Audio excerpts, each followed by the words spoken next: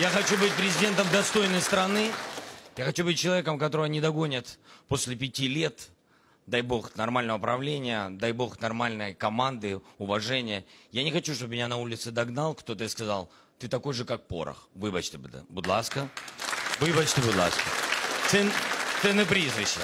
А, просто очень сильно наболело для каждого із нас. Я розумію. Я, я, ді- я вибачаюсь. Да.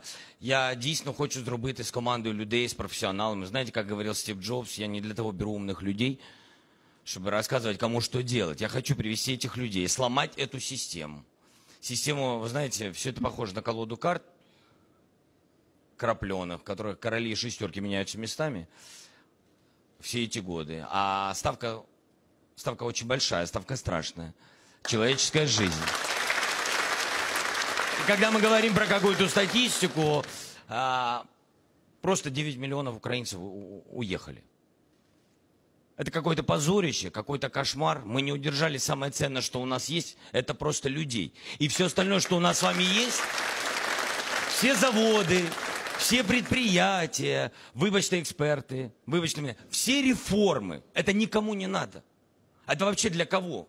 Если отсюда через еще, не дай Боже, еще через пять лет уедет еще половина населения. Поэтому каждый из нас, это социальная миссия, это правда. Каждый из нас должен сделать все, что он может.